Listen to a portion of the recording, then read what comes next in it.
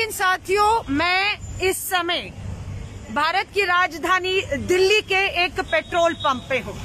पीछे आप आदरणीय प्रधानमंत्री जी का होर्डिंग देख सकते हैं पेट्रोल पंप पर।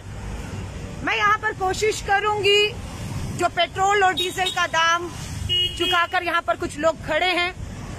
हमारे दिल्ली पुलिस और कहे सीआरपीएफ के जवान भी खड़े हैं। आज हर पेट्रोल पंप पर आपको लगभग यही माहौल दिखेगा।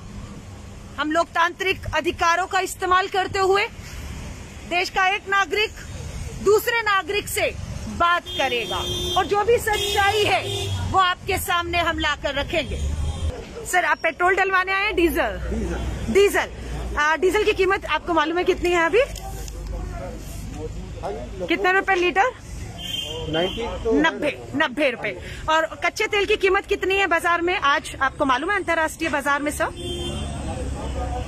तैतीस तैतीस राइट बोलिए बोलिए। गवर्नमेंट का कोई कसूर नहीं है। ओके बहुत अच्छे। आप क्या करते हैं सर?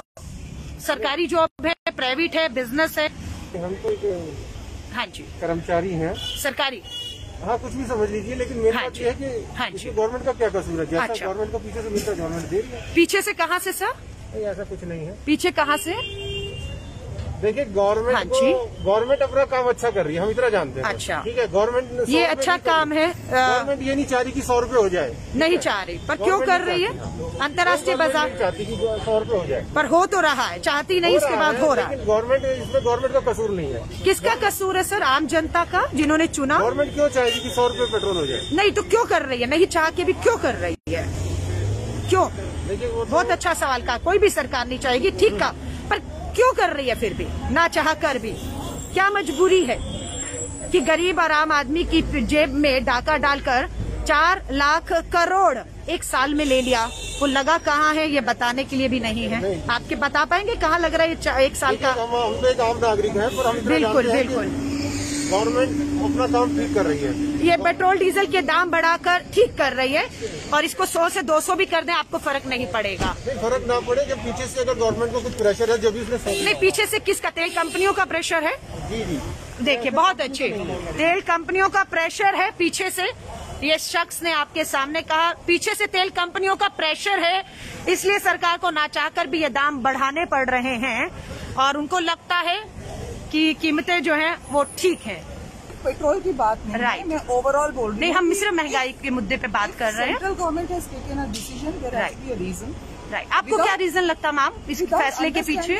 या without understanding right ma'am right I will not be able to बोलना बहुत आसान है किसी को भी criticise right absolutely but I am completely with the central government तो ये आप बड़े दामों के साथ हैं उनके फैसले फ़िलहाल तो अभी सब जगह प्रॉब्लम है तो वी हैव नो ऑप्शन ना। कुछ ऑप्शन नहीं ऑप्शन मैं आपको बता दूँ कच्चे तेल की कीमत अंतर्राष्ट्रीय बाज़ार में तीस रुपया है बाकी टैक्स है।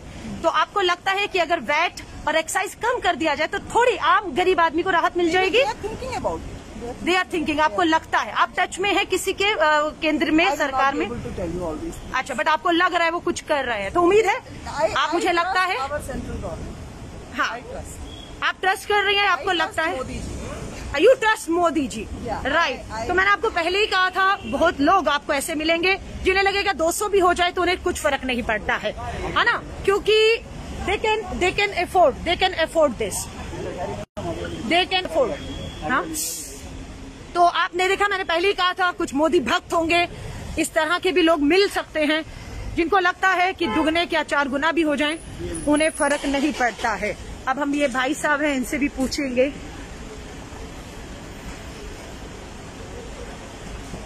सर आप पेट्रोल डलवाएँगे या डीजल?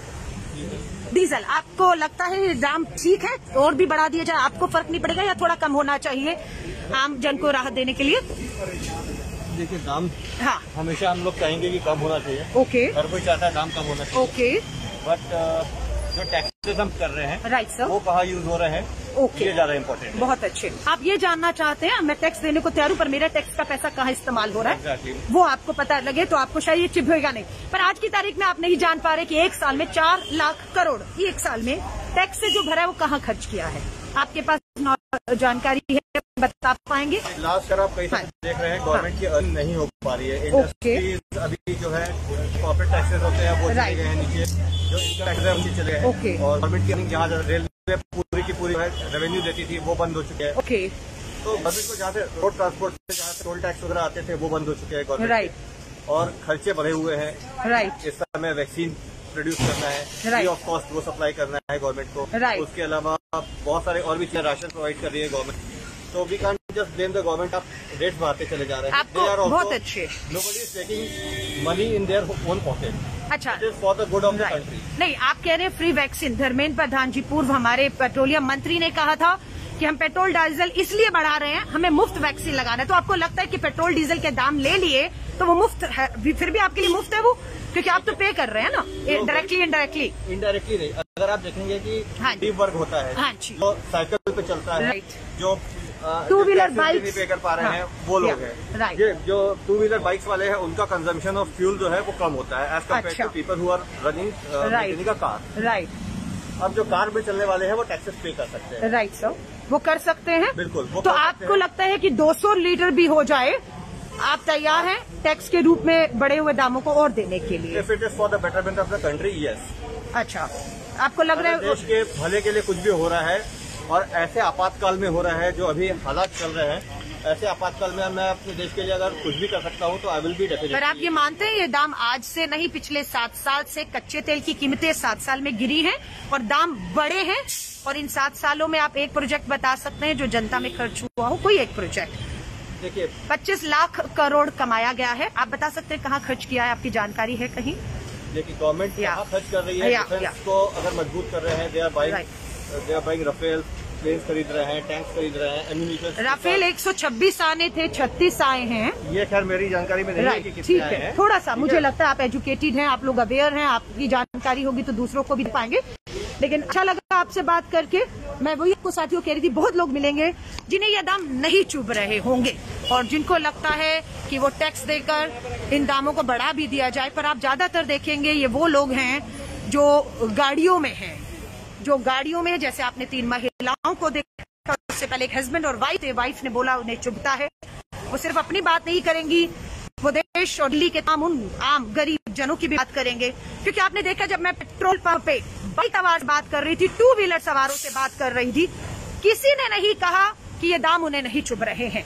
वो एक लीटर पेट्रोल सौ रुपया भी दे रहे तो एक लीटर नहीं आ रहा, और कितने किलोमीटर चल पाएगा? लेकिन जब आपने गाड़ियों में देखा कि महिलाएँ महिलाएँ या कुछ ऐसे लोग, जिन्हें लगता है कि नहीं नहीं, मोदी जी इच्छा कम कर रहे हैं, इन्हें दो तीन गुना कर देना चाहिए लेकिन वहाँ दूसरी तरफ़ बाइक सवार, पेट्रोल पे काम करने वाले, हमारे ऑटो रिक्शा चालक सीएनजी पे जो खड़े थे, पूरे वीडियो को आप ध्यान से देखिएगा। पूरे वीडियो को ध्यान से देखिएगा। मैं फिर कह रही हूँ, पैसे वालों को ये महँगाई, पेट्रोल, डीजल न चुभा है, न कभी भी चुभेगा। उनके लिए बिल्कुल चांदी है, दिवाली है। लेकिन हम जब बात करते हैं तो हम बात करते हैं उस आम, गरीब आदमी की जिसके पास रोज़गार नहीं है बेरोजगारी है तनख्वाहें नहीं बढ़ रही सौ सौ रुपया पेट्रोल एक लीटर का उसको महँगा पड़ रहा If you like our channel, please subscribe and to get notifications about news, please click the bell icon.